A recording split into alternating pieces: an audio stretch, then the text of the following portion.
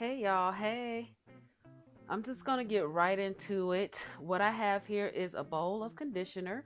It is my good conditioner mixed in with some underperforming conditioners that I did not want to toss.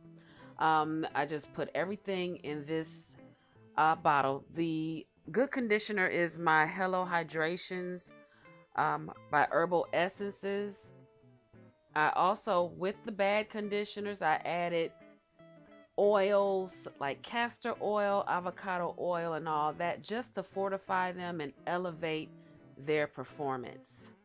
So today I'm doing a pre-poo and I'm just going to add more nourishment to these so that I can have the bomb pre-poo experience. And first I start off with my aloe vera powder that adds moisture and it conditions the hair, it nourishes new growth, um, it balances the pH of the scalp, it helps stimulate growth, and it helps to soothe irritation of the scalp.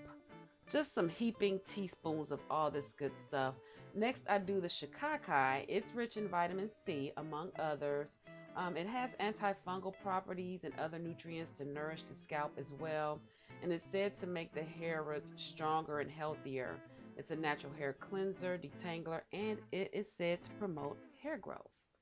Then finally, as you can see there, I mixed in some amla powder, which also conditions the hair. Um, it's known for its high vitamin C levels. It adds softness and luster. It's a rich, rich source of essential fatty acids and it helps to keep the hair follicles strong and it nourishes the hair from the roots. So I just added this stuff in. I'm mixing it and I'm just making sure to mix out all as many uh, lumps as possible. If you need to add more conditioner, go ahead and do that. Anything in this conditioner to help it is good.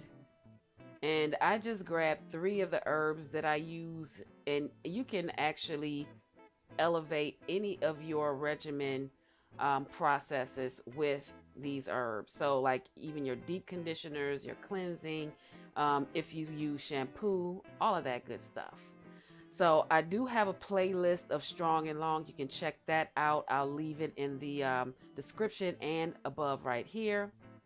Share this video, you guys, if you think it's helpful. And until the next time, live simply and be kind. Smooches!